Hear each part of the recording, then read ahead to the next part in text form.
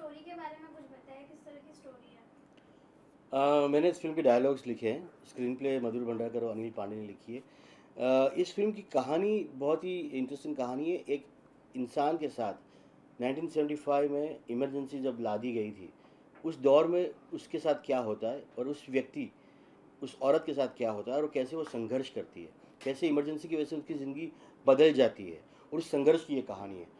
मैं कहूँगा seventy percent it's fact अपना फिक्शन है। और थर्टी परसेंट हमने इमरजेंसी का जो जो फैक्ट्स थे जो एक्चुअल हिस्ट्री हुई थी उसको हमने दिखाया है। तो ये फिक्शन और फैक्ट का एक अच्छा सा संगम है।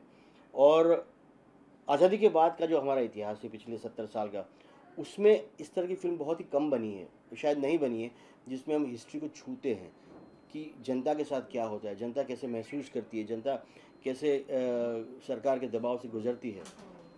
सो ये उसकी कहानी है और it's a very very interesting story about a person called Indu Sarkar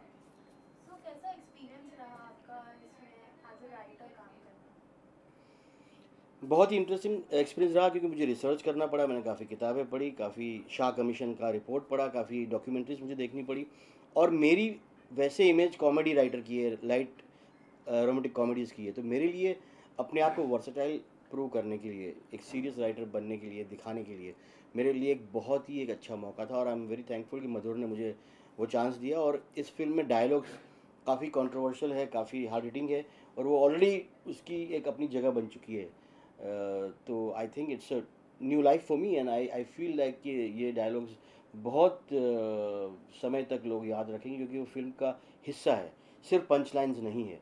तो मेरे लिए कह सकते हैं एक पूरा नया एक अवतार है and I am very thankful to Indu Sarkar and the entire team sir तो जैसे कितना चैलेंजिंग था आपके लिए? जिस तरीके से आपने बोला कि कॉमेडी जॉनरे आप ज़्यादा करते हैं और अब इस तरीके की आप जॉनरे पे आ रहे हैं। तो ये कितना चैलेंजिंग था आपके लिए उस पे आना?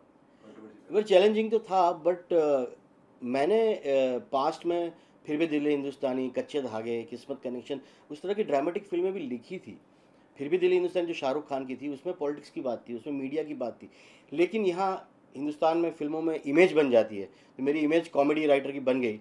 सो लिखना मेरे लिए मुश्किल नहीं था, क्योंकि मेरा इतिहास में स्टडी था, मेरा ये इंटरेस्ट का विषय है। लेकिन अच्छा लिख के ऑडियंस तक पहुँचा के उसको सक्सेसफुल करना, वो बड़ी चैलेंज है। और वो चैलेंज अट्ठाईस को फ़िल्म रिलीज़ होगी और लोग डायलॉग्स के बारे में बात करेंगे, तब मेरी चैलेंज वो पूरी होगी। लिखना मेरे लिए पार्ट ऑफ़ स्टडी था। As a writer I should be able to write everything about everything और वो मेरे लिए आसान था। लेकिन मेरी इमेज को तोड़ के अलग राइटर की इमेज जो मुझे बनानी है, वो बनेगी कि नहीं, वो अट्ठाईस को आप मीडिया वाले जनता बताएँगे। सो जैसे कि आपने कहा काफ़ी कंट्रोवर्शियल था काफ़ी कंट्रोवर्सी भी क्रिएट हुई है। तो जी।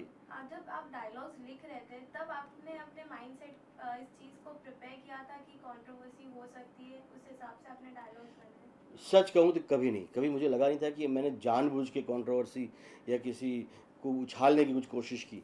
लेकिन फ़िल्म का सब्जेक्ट स्क्रीन प्ले ही ऐसा था कि उसके उसके उसके जो मोड थे वो ऐसे थे कि जहाँ पे हमें हार्ड हिटिंग स्ट्रॉन्ग एग्रेसिव आक्रामक बात करनी ज़रूरी थी। अब उनमें से कुछ चीज़ें ऐसी बाहर निकल के आई, जो ट्रेलर में आई, और तब लोगों का ध्यान गया। अब लेकिन हमारी अंदर से कोई कंट्रोवर्सी क्रिएट करने की, या कुछ सेंसेशन क्रिएट करने की बिल्कुल इच्छा नहीं थी। क्योंकि उस, ऐसा करने से क्या होता है कि इस तरह की सीरियस फ़िल्म में, हिस्ट्री बेस्ड फ़िल्म में, वो कहीं ना कहीं सस्ती बन जाती है चीप बन जाती है। कहीं ना कहीं हम उसके सत्य के साथ हम खिलवाड़ करते हैं, और जो हमारा आशय, हमारा इंटेंशन बिल्कुल नहीं था। लेकिन more than controversial I will say it that these lines are very powerful very hard hitting. That's why उस पर नज़र जाती है that's why it becomes talk of the town. और सर क्या क्या तैयारी करी है अपने कहानी लिखने के लिए किस तरीके से आपने कैरेक्टर का चुनाव किया और किस तरीके से आपने कैरेक्टर्स निकाले see I am dialogue writer मेरे साथ स्क्रीन प्ले में अनिल पांडे और मधुर भंडारकर जी थे। उन्होंने काफ़ी रिसर्च किया था। दिल्ली गए हुए थे। शाह कमीशन पे रिसर्च हुआ था। नेहरू सेंटर में गए थे। पुराने न्यूज़पेपर की कटिंग्स देखे। सारे उस ज़माने के जो न्यूज़पेपर्स थे मैगजीन से उसको चेक किया गया। उस दौर की फ़िल्में थी, फ़िल्म मैगजीन जो थे, वो देखे स्टाइल के लिए। उस ज़माने के जो कैलेंडर्स थे एडवर्टाइजमेंट्स थी, उसको कलेक्ट किया गया। और यहाँ पे एंडी स्टूडियो जो है बम्बई के पास, वहाँ पे नितिन देसाई ने दिल्ली को पूरा क्रिएट किया कैनॉट प्लेस को क्रिएट किया। वहाँ उस वक्त जो लड़कियों के बाल की स्टाइल थी, लड़के जो कान पे बाल रखते थे बेल बॉटम पहनते थे, वो सारी छोटी छोटी डिटेल्स और सबसे बड़ी बात है कि उस वक्त की जो लैंग्वेज थी, उसमें कूल हाई वो सब जो वर्ड्स जो हम आज यूज़ करते हैं चाओ वो सब नहीं था।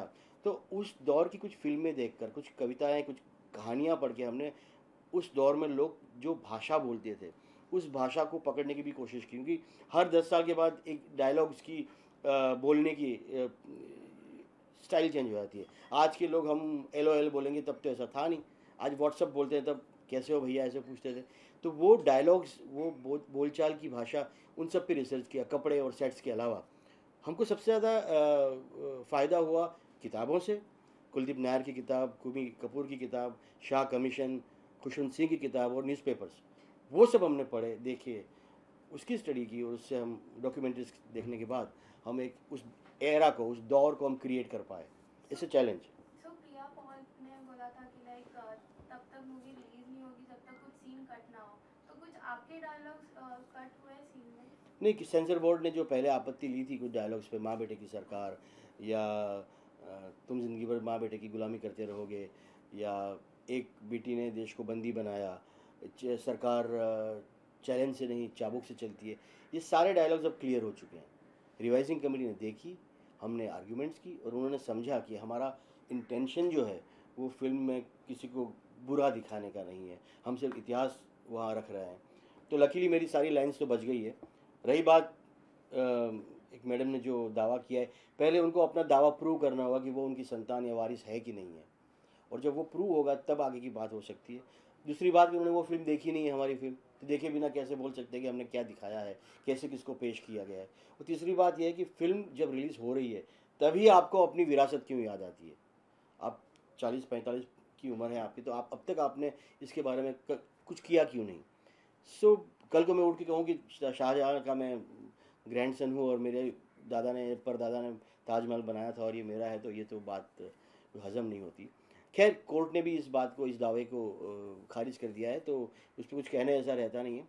मुझे लगता है कि कोई भी पक्ष हो कोई भी आइडियोलॉजी हो कोई भी पार्टी हो जब ये फ़िल्म देखेंगे वो लोग उनको समझ में आएगा कि हमने किसी चीज़ को बहलाने की या कुछ बड़ा चढ़ा के दिखाने की कोशिश नहीं की हमने काफ़ी बैलेंस इतिहास को मद्देनज़र रख के ये फ़िल्म बनाई है because thirty percent is the history seventy percent is the fiction और ऑडियंस सबसे बड़ी अदालत है कोर्ट है।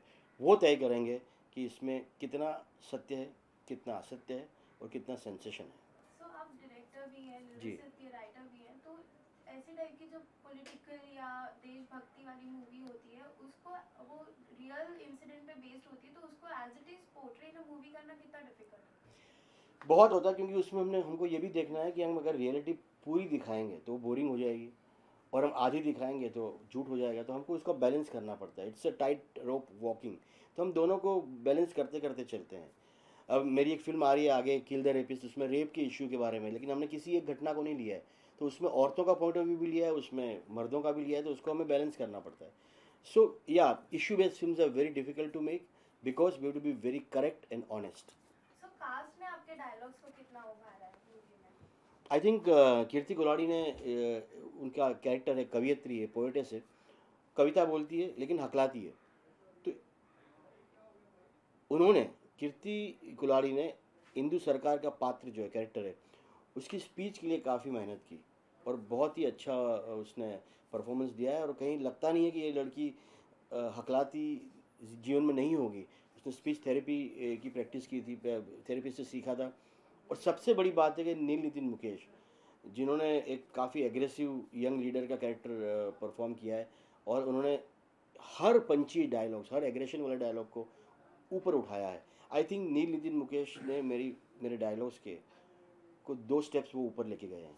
सर इसी टॉपिक को चुनने की क्या कोई खास वजह थी कि मतलब आपने इसी टॉपिक को क्यों चुना वेल कभी ना कभी इतिहास जो होता है उसे कहना तो होता ही है क्योंकि हम कब तक हम वही फ़िल्में बनाते रहेंगे लव स्टोरीज फैमिली स्टोरीज शादियाँ और वो तो चलता ही रहता है। तो हमको लगा कि ये इंडियन हिस्ट्री का एक ऐसा अधूरा चैप्टर है अनजाना चैप्टर है जिसको आज की पीढ़ी जानती नहीं है। तो इसलिए हमने ये फ़िल्म बनाने की कोशिश की है और हिम्मत भी दिखाई है। Rest is audience will decide कि how far we are successful so sir तो हमने नर्वस सुना है एक्साइटेड है आप कि ऑफ़ कोर्स 2025 दोनों हैं नर्वसनेस इसलिए है कि अलग किस्म की फ़िल्म है एक्साइटेड इसलिए है कि हिंदुस्तान की फ़िल्म की हिस्ट्री में ऐसी फ़िल्म आई नहीं है जिसने रिसेंट हिस्ट्री के बारे में कुछ कहा हो। सो हमने ये भी सुना है कि आप अ, इंदिरा गांधी को काफ़ी एडमायर करते हैं। मैं personally Nehru and Indira ji and Congress की जो आइडियोलॉजी है सेक्युलर सोशल लिबरल उसको पर्सनली मैं बहुत ही मानता हूँ और मैं उनके पक्ष में बोलता भी हूँ। मैं राइट विंग पॉलिटिक्स को अच्छा नहीं मानता हूँ। लेकिन जहाँ तक तो इमरजेंसी के चैप्टर की बात है वो इतिहास है उसको कोई नकार नहीं सकता। तो वहाँ मुझे बैलेंस होकर मुझे अपनी आइडियोलॉजी को दरकिनार करके अलग करके मुझे लिखना चाहिए। एज ए प्रोफेशनल और मैंने वो काम किया हुआ है। और शायद इसीलिए मैंने इस फ़िल्म को सेंसेशनल बनने से रोका भी है। और जो तथ्य है उसे पेश किया है। थैंक यू मैं यही कहूँगी हिंदू सरकार एक ऐसी फ़िल्म है जो आपको अपने आज की सरकार के बारे में, आने वाली सरकार के बारे में, जो बीत गई उस सरकार के बारे में, गवर्नमेंट के बारे में, पावर के बारे में और आपके हक और आपकी आज़ादी के बारे में बहुत कुछ सिखा देगी। आपको अपने हक के लिए, अपने पावर के लिए जनता को लड़ना चाहिए और कैसे लड़ना चाहिए और किसी भी सत्ता के सामने विरोध करना चाहिए, ये संदेश आपको इस फ़िल्म से मिलेगा। ज़रूर देखिएगा हिंदू सरकार।